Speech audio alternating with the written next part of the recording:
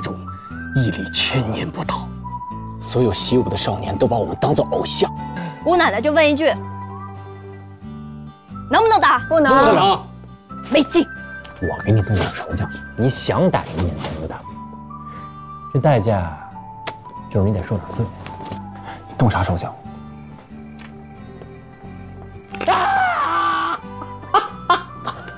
我们可以提前过去跟他们打个招呼，告诉他们就装作不会武功过来配合我们演一段戏，然后让我们这熊孩子教他们武功。熊孩子真以为招刀到生了，完这帮熊孩子还乐的蒙在鼓里，这还教呢，这还乐屁颠屁颠跟他教呢。这样呢，还取得了双方都得到了培训。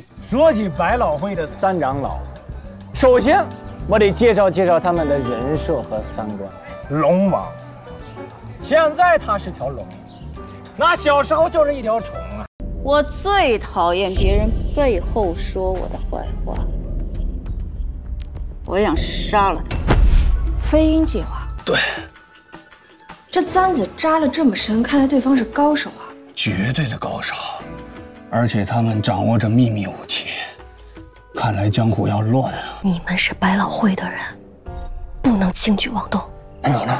我不一样，我没有任何牵绊，我可以趟这个浑水。